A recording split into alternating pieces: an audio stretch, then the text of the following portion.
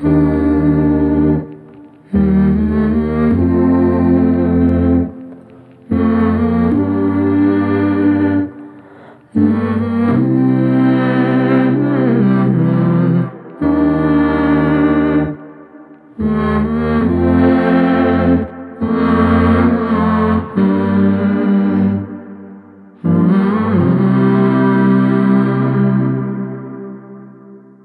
I gotta wake up from this nightmare.